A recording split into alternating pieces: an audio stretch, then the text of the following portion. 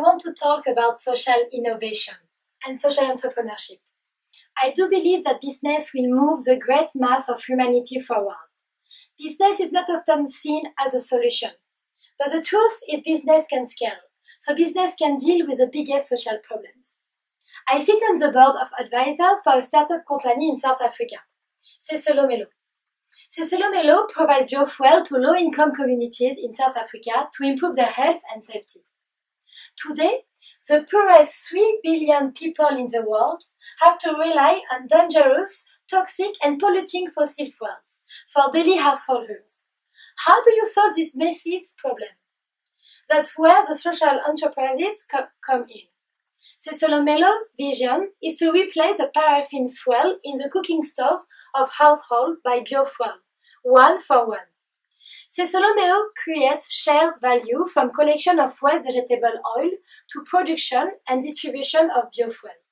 In doing so, they create economic value by building a local economy around the locally produced biofuel, and they simultaneously create a social value by reducing the toxicity of the air.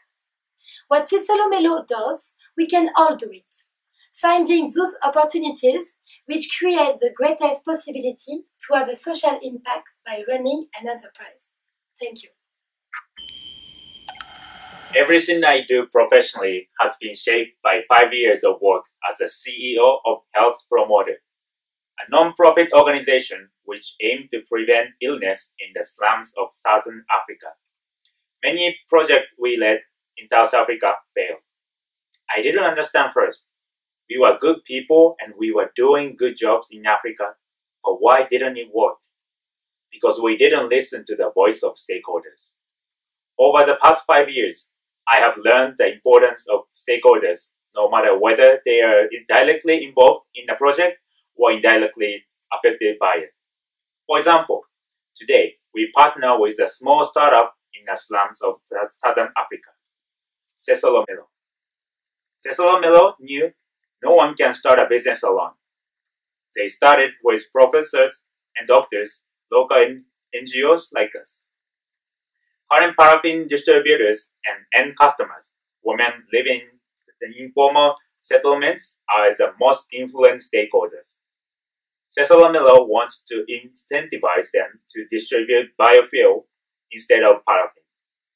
The competition is also affected by the activities of Sesolo Mello. The direct competition is the paraffin producers, but none of them produce locally. So, Sesolo Mello has a very marginal effect on their activity. The Southern African government, as well as the Global Alliance for Cookstoves, focus on reducing paraffin consumption, not on replacing it. So, Sesolo Mello offer a more sustainable solution. Nobody in the world can succeed alone. We have to create a community around different stakeholders so we can activate the power of communities. Thank you. Hello, my name is Chonke, and I live in the township of Mamelodi in South Africa. Like me, 2.5 million of people in the region of Gauteng live in slums. Our main energy source is paraffin. Sometimes we hear about the danger of paraffin for our health and safety, but what can we do? It's cheap. Recently, I took part in a customer survey with Sesolo Mello, and they told me about how their business strategies can improve my life. So they have five strategies. The first one is to collect waste vegetable oil from the food processing industry. The second one is to set up local facilities in the community. The third one is to produce biofuel that can be used with the same cook stove that we are currently using with paraffin. The fourth one is that they will use the existing distributors of paraffin and organizations that are selling cookstoves to distribute Sesolo Mello. And finally, they will educate the customers about the dangers of fossil fuels and how we can manipulate fuels easily. So as a result, Sesolo Mello can produce biofuel at low cost and they can sell it at a cheaper price to the community, cheaper than paraffin. So biofuel is less toxic than paraffin and it has a higher level of ignition. As a result, by using biofuel, we will decrease the rate of respiratory disease in our community and also decrease the rate of burns and fires. So people can have jobs in the factories and they will be able to have more money for health, education, food, and other leisures. So now, thanks to the business strategies of Sesolo Mello, we will be aware of the danger of fossil fuels and we will also have access to um, an alternative fuel that is cheap and healthy and safe. I don't know for I don't know for you, but I can't wait to start using Sesolo Mello because it will keep me healthy and safe. Thank you. As a doctor, I face the need to create an impact. This is necessary to assess at the end of the day the quality of my work and how many people I helped.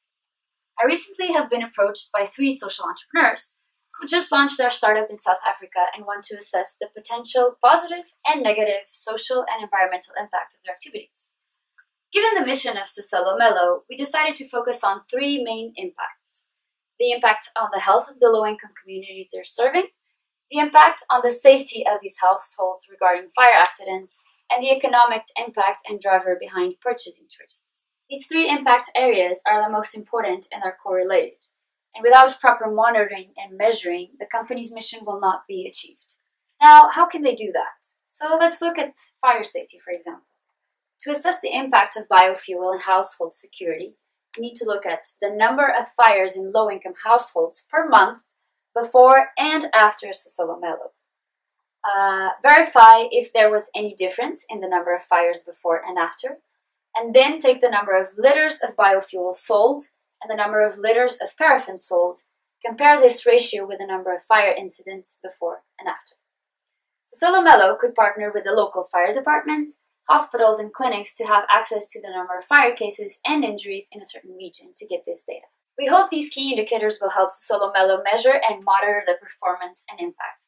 And why is this important? Because we need to be accountable to be social entrepreneurs. Thank you. Dr. Pereira was explaining in the TED before was a new social science. It's a social science that recognizes the complexity of human actions. It's a new science which will create fundamental change. For Sesolo Mello, the quality uh, parameter we consider is the decrease in the percentage of um, toxins produced by the fuel used by the households. The quantitative metrics we use is the average number of persons per household in South Africa, which we use paraffin. Based on our research with the Sesolo Mello, founders, we learned we learned uh, that the average household in South Africa use one liter of paraffin per day. So we assumed that they use 365 liters of paraffin per year.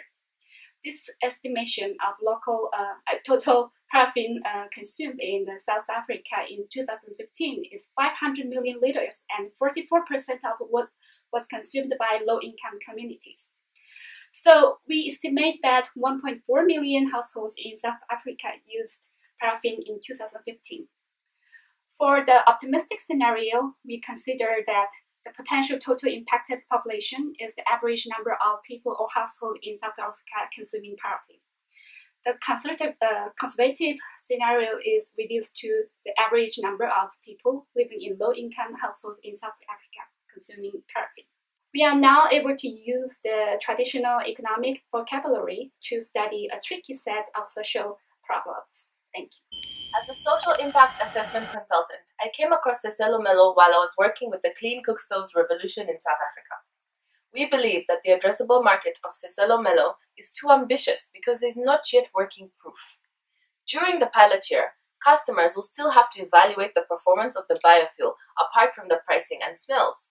Although Sesolo Mello could be able to produce a great alternative to paraffin, this distribution network still has to incorporate the biofuels on their shelves, which they'll only do if the profit margin is higher. Moreover, with the increasing number of renewable resources, the number of people using paraffin could decrease in the forecasting years, but not just because of Sesolo Mello, but other alternatives. Our recommendations to improve analysis and to mitigate the potential negative social environmental impacts are surveys of distributors to determine the profit margin on paraffin versus biofuels, how the sale of biofuels can negatively or positively impact their income, surveys of customers about how much time they need to spend cooking using the final product of Sesolo Mello biofuel versus paraffin to determine other criteria that they might take into account while making their purchasing decisions. Better analysis of demand competition of the supply through interviews because other industries also use used vegetable oil and can be negatively affected by the activities of Sesolo Mello. Constant feedback, tracking about the quality and quantity of Sesolo Mello and the efficiency of their distribution network. Better analysis of the competitors and how Sesolo Mello's activities could affect the jobs of people working in paraffin production today. Constant updates about the changes in renewable energy policy in South Africa because more and more initiatives are rising and it might affect the profitability, efficacy, or the potential of Sesolo Mello. I would just like to end my remarks by saying that a growth mindset is a great idea for building a successful social enterprise. But we need more. That's the work that stands before us today. We need them to take our best ideas and we need them to test them. We need them to measure whether we've been successful and whether we've been willing to fail, to be wrong, to start again all over with the lessons learned.